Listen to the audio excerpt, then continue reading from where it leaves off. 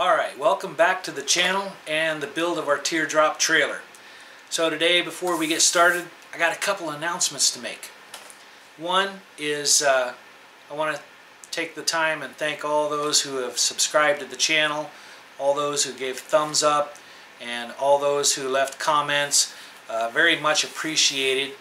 As I look back, it's, you know, it's if people like what you're doing, then that gives you the drive to keep keep going and do more. Uh, it's kind of upsetting when people don't like what you're doing and there's no really drive to, to keep going, but uh, you guys are the reason that I keep coming back um, you know, week after week and wanting to do more. So hopefully in the future I can continue to do more builds. Uh, I've got a couple ideas in mind for some projects. Uh, they're small and simple and uh, which is the way we like it, right? Anyway, uh, that's the first announcement. I just wanted to take the time and show appreciation to all those who've subscribed and uh, continue to watch the videos. Uh, appreciate that a lot. The second announcement is about the plans. So as of this stage in the build, uh, the plans will no longer be offered for free. Uh, to date, I think I've given out about 100 sets of plans people have emailed, showed appreciation. Uh, I've got a lot of pictures of people doing their builds and uh, that's been pretty exciting and knowing that there's probably about 80 to 100 uh, teardrop trailers that could possibly be hitting the road uh, with this design. Uh, I'm sure that they slightly modified theirs just a little bit but uh, that's really cool. glad to see the progress and really appreciate the people who showed some interest in those plans. But although the plans aren't offered for free any longer, they are still offered. All you have to do is just email me and I'll tell you how you can get those plans. I don't have Patreon or anything like that, so uh, we'll just make it a real simple process and you can still get the plans. And if you leave your email address and your uh, mailing address, I'll send you something a little extra um, to show my appreciation. So with that all being said, let's get back to our build and let me show you what I've been doing and what I still have to do, what you need to do before we get this top on. So the next stage in our process is our insulation. Now, um, this was a 4x8 sheet of, ply of plywood. How about insulation? This was a 4x8 sheet of insulation uh, that my neighbor Jack gave me before he uh, left for Boston. And that actually turned out to be the right amount that I need to do the trailer. So I went through and I measured the distance between all of my spars, marked them on a sheet of paper, set up my saw, and cut each one individual. Then I come back and uh, I score a little piece and break it off and then I'm able to slip it in. So what I've been doing so far is installing the insulation. On the uh, sides here where the wiring are, I left a little gap and we will put some insulation in here. I'll trim a, trim a piece so it'll fit in there nice and tight and seal that up and not crush my wires down onto the cabin. And when I cut the insulation, I measured from this distance to this distance, and that's what I cut, and so it's a little bit larger. And when you push it in, it compresses and takes the shape of the, uh, the body. So that's working out really good. I still have the areas where my lights are finish up and this area here where some wiring is and also this area here. So when I get ready to cut this piece I'll make a, a notch or a channel in the foam stop about right here on this edge and then we'll press that in place and it should take the shape. So right now I have things pressed in place and uh, it's nice and tight not gonna fall out yeah, pretty happy with that. And then our ceiling obviously is going to come over and follow the contour of that.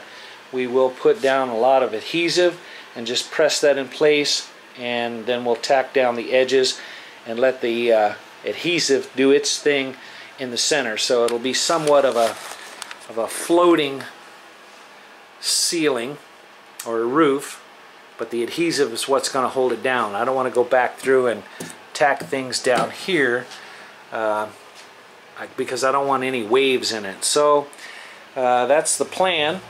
And then when we get down to this section here because it's a tight radius most likely I'll cut some one inch strips and then uh, lay them down tape the back put some adhesive up there and let it follow the contour of this front section here.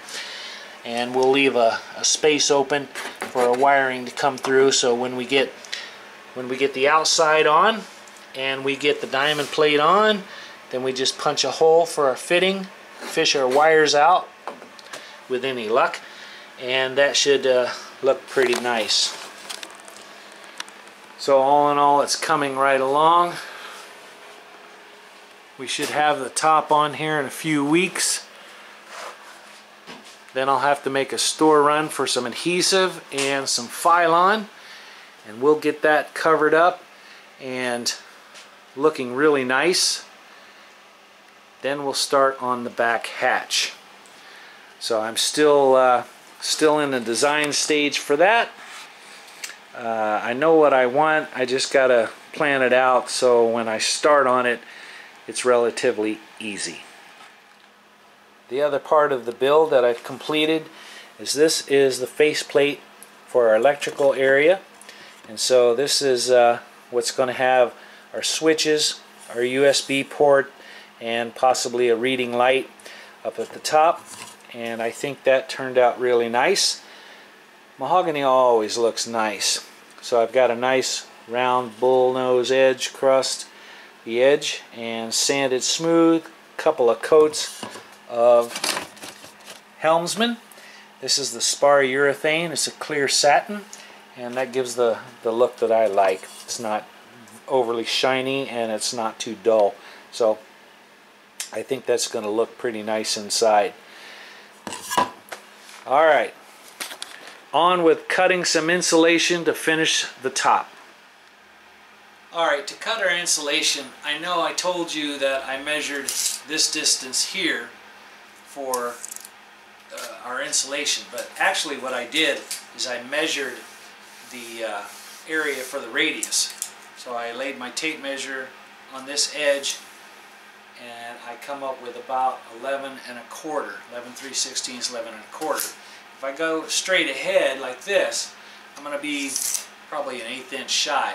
So I'm following this curve and I'm measuring the curve that's the width that I'm cutting the insulation. And then when it goes in, because of the spars, they're sort of tapered, that when I push everything down, the insulation is fairly forgiving and it contours to that shape, snugs it in there real tight and solid. So that's how I measured it and how I cut it. And now we just got to cut our width here uh, to fit our wiring to make our areas for our lighting. I'm probably just going to cut a square section out for the lighting, put a couple of little false pieces in there and then cap it off and leave a little air gap uh, above the lights. I don't want uh, I don't want to leave the lights open all the way to the to the roof because in the uh, in the event that the lights do get hot or warm I don't want it distorting the Filon so we're going to have a an insulation barrier uh, between the roof and the lights. So that should absorb any heat that uh, the lights emit and protect the top. Mm-hmm. Alright, let's cut a piece of uh, insulation, fill our spot here. We'll cut it to length and then we'll uh, figure out where our notch is going to start. We'll probably come up about three quarters of an inch and make a little notch in our foam put that in place and hopefully it covers everything and looks good. So we're going to measure that. I'm looking about 45 and a quarter. And for our edge here, I need to find a piece that's 7 and 1 8. So let's go get our foam. Alright, so we've got our foam and it is 7 and 1 8 So next thing we got to do, measure 45 and a quarter.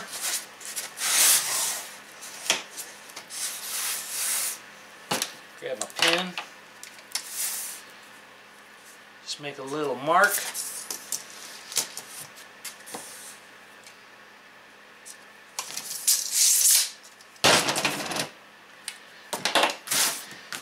Then I just take a straight edge.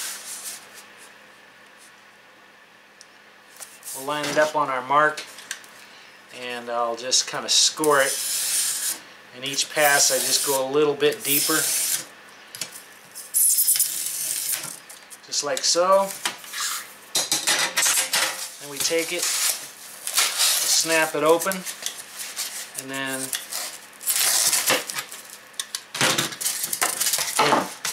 Now we got the piece to length. Now we'll figure out our length here before we make the notch on this side right here. So, let me go get some measurements, do a couple of little fine cuts, chisel this out, and we'll fit it.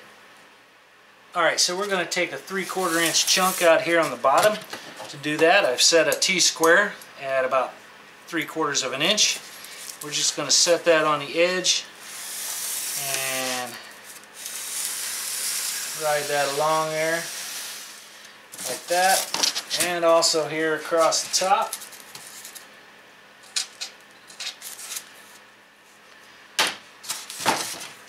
Now our blade is a little longer than a three quarters of an inch. I think it's uh, that's one inch. Perfect. So now I'm to take a straight edge cut across there an inch deep, set it up here, cut it an inch deep and hopefully pulls right on out of there. So let's get her done. Now let's get in place.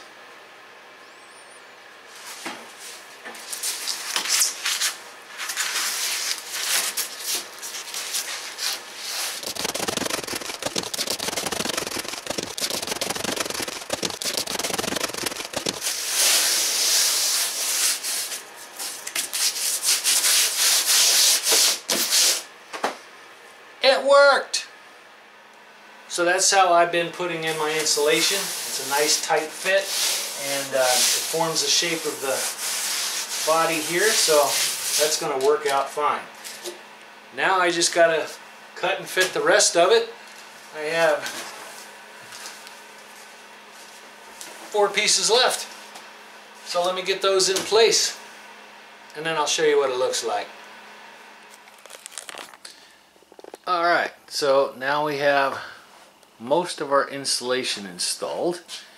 And we've got our little cutouts here for our lights. And we'll just put a thin top over those once we get ready.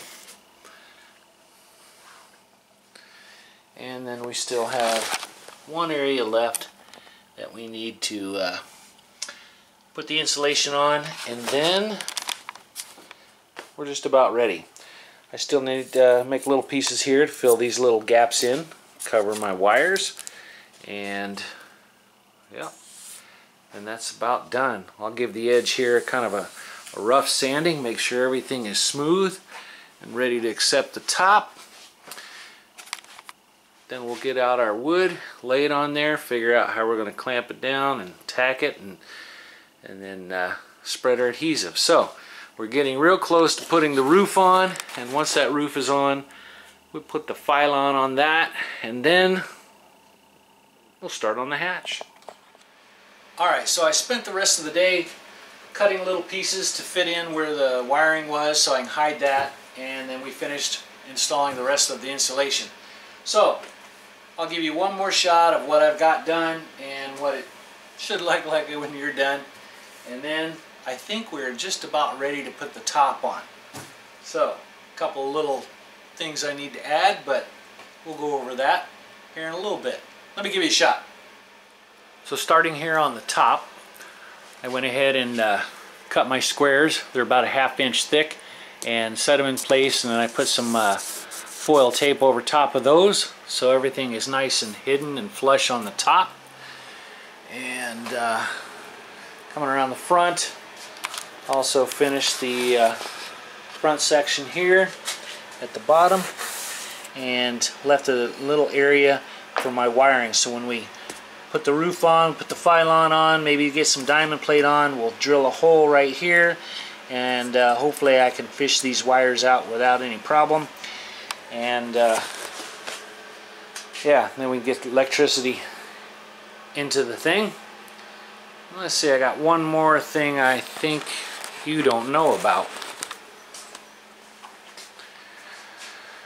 So before I buttoned up the back here I added all my little strips here to cover all the wiring. I added one more set of wiring here and I think I'm going to plumb that over.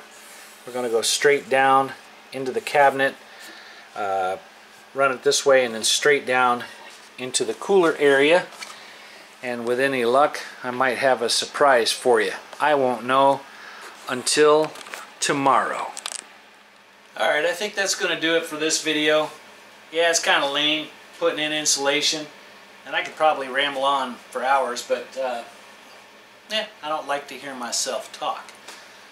So at any rate insulation's done and the top is ready to go on. So in the next video uh, we'll begin the installation of our roof and hopefully we'll get some more wiring done inside. We need to still install the faceplate with our switches.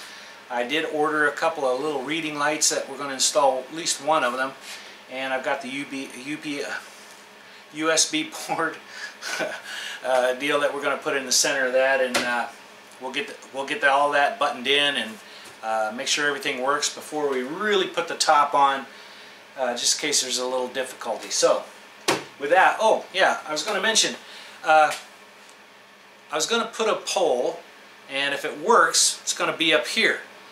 And if I can figure out how to do it, but I was wondering how many people would be interested in one of my shirts. So, handmade. What do you think? Is this something you'd be interested in?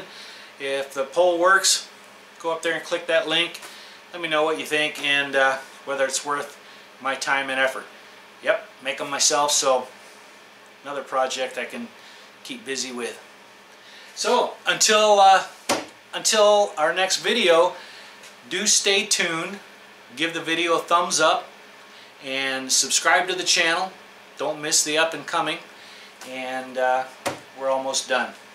Thanks for watching.